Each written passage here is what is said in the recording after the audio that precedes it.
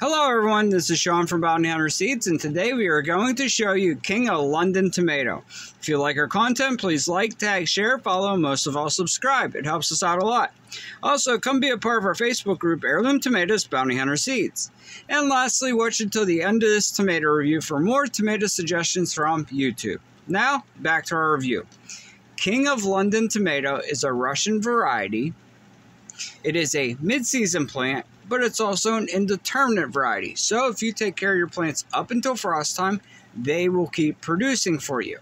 They produce these 6 to 12 ounce pink Oxheart tomatoes, which will have some yellow at the top. Here's what the inside looks like. Uh, very meaty. It looks very juicy.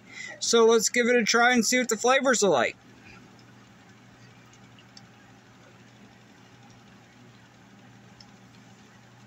It is very meaty. It is juicy as well.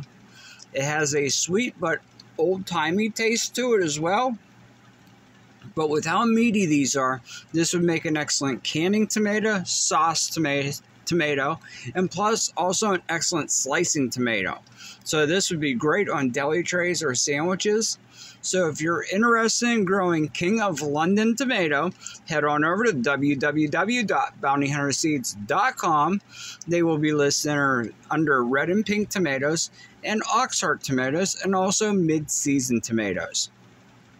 But most important, we hope you have a wonderful, beautiful, safe, and amazing day. Till next time, bye bye.